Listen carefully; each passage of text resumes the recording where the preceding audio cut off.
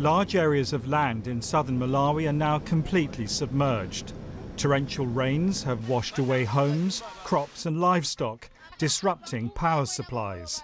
Half of all districts in the south of the country have been hit.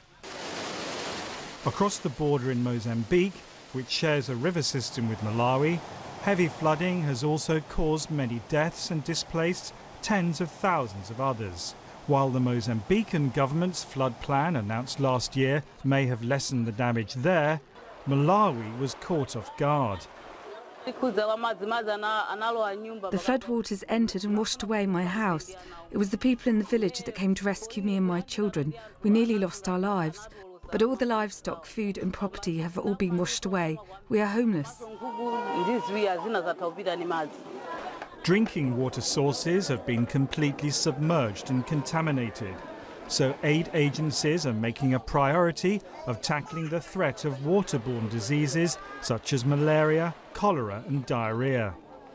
With heavy rains expected to continue, Malawi's government is urging people living in low lying areas to move now to higher ground and to avoid the dangers of crossing fast running rivers.